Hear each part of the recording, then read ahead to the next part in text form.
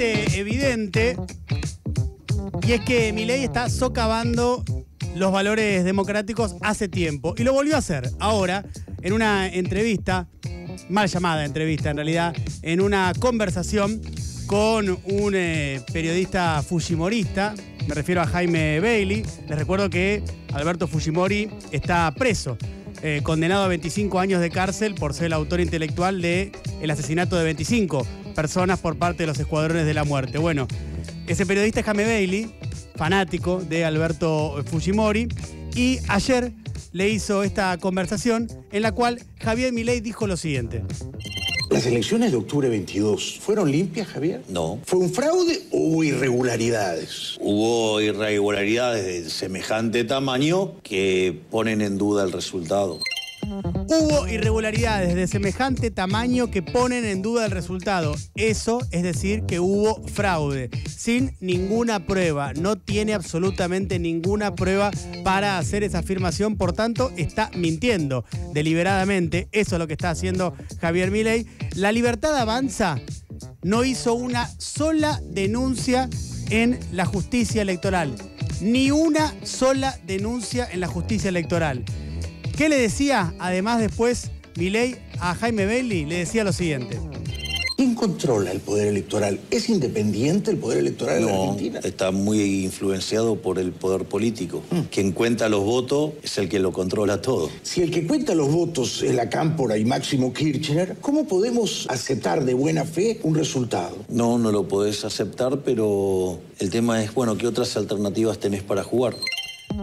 Milei miente y Bailey es un burro que ni siquiera se preparó para la nota, porque no, efectivamente no es así. Hay que volver a explicarlo, pero la quien cuenta los votos sí es independiente, porque no depende del Poder Ejecutivo, es dependiente del Poder Judicial, es la Cámara Nacional Electoral, está compuesta por 24 jueces federales y no tiene absolutamente nada que ver ni Máximo Kirchner, ni la Cámpora, ni absolutamente nadie vinculado con la política. Además de que la Cámara Nacional Electoral, hasta antes de la llegada de Milei, que repito, socava los valores democráticos, no tenía cuestionamientos de ninguna agrupación política democrática, de ninguna ni de, las que componen el, el extinto Frente de Todos, Actual Unión por la Patria, ni de Juntos por el Cambio, de absolutamente nadie. Pero de repente aparece Javier Milei, dice estas barbaridades y pasan como si nada.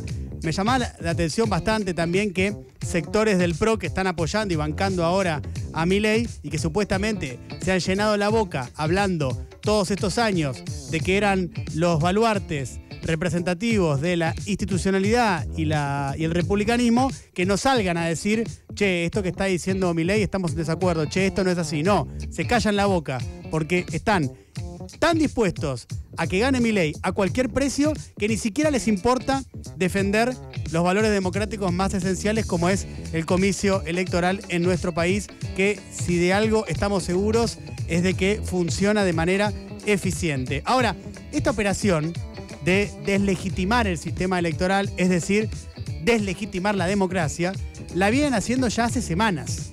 Es por pasos el mecanismo de deslegitimación. Ya lo contamos, el paso número uno fueron los videos virales en redes de distintos militantes de la libertad avanza denunciando fraude, a lo que se sumó el sector más yihadista de la Nación Más, que es mega full archi mileísta y está dejando todo en la cancha para que Milei sea presidente. Allí hablaban de microfraude.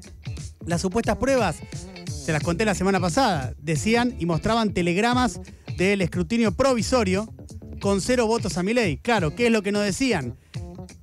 Que eran telegramas del escrutinio provisorio y no eran las actas del escrutinio, que son las que ya estaba corregido todo y la que tiene validez legal. ¿Se acuerdan que yo le di un montón de ejemplos? Cito uno simplemente para que se entienda de qué estoy hablando. Una mesa, la 1362 de Santiago del Estero, mostraban el telegrama y decía cero voto para mi ley, cuando en realidad eran 34. Pero cuando vas a ver el acta de escrutinio, dice lo que tenía que decir correctamente, 34. Por lo tanto, fueron contabilizados esos votos para Javier Milei. Segundo paso, este fin de semana, porque estos virales, más La Nación Más, el sector más yihadista Nación Más, socavando también los valores democráticos, estuvieron semanas dando vueltas con esto. Este fin de semana, inesperadamente, porque si de alguien uno no esperaba eso, la libertad avanza, era de esta persona, Guillermo Francos, quien puede llegar a ser el ministro del Interior si Milei es presidente, decía en esta radio con Iván Yaroski y con Nico Fiorentino lo siguiente. La justicia electoral que hace rápidamente te dice, bueno, está bien, la Libertad Avanza tuvo 23.000 mesas donde tuvo voto cero, Patricia Bulli tuvo 20 y pico de mil mesas donde tuvo voto cero, Massa tuvo no sé cuántas mesas donde tuvo voto cero, bueno. Cualquier cosa está diciendo Guillermo Franco, debería tener un poquito más de responsabilidad, siendo que es uno de los cuatro voceros habilitados para hablar por parte de Javier Milei y que además puede llegar a ser ministro del Interior. Hay 105.000 mesas en la Argentina. ¿Saben cuántas mesas tuvieron Telegrama Cero? En el escrutinio provisorio, no en el definitivo. De hecho, el definitivo ya está terminado y prácticamente no hubo, no hubo diferencia. Fue escasísima la diferencia y para todos hubo diferencia, ¿eh? no es que solamente para Libertad Avanza. En el provisorio había 1.669 mesas con cero votos para Javier Milei. No 23.000. ¿Ustedes se dan cuenta la barbaridad? Si tenemos 105.000 mesas, imagínense si hay 23.000 con cero votos, ahí sí es un escándalo y es un fraude. Eso no pasó, estaba mintiendo Guillermo Franco. También, además, no dijo otra cosa, ¿no? Que Unión por la Patria tuvo 1.652 mesas con cero votos en el escrutinio provisorio y Juntos por el Cambio 1.675. Fíjense, las tres fuerzas más importantes muy parejas, con cuestiones que tienen que ver, ya explicadas, algo que pasa en todas las elecciones, algunos errores y demás que luego se subsanan y han quedado subsanados en el escrutinio definitivo del cual ya les expliqué cómo eh, funciona. El tercer punto, el tercer paso de esta búsqueda de socavar la democracia y socavar la elección democrática es la marcha del domingo en el obelisco. Centenares de personas, no muchas, centenares, por eso digo, estaban allí haciendo qué cosa? diciendo que había fraude. Escúchenlas.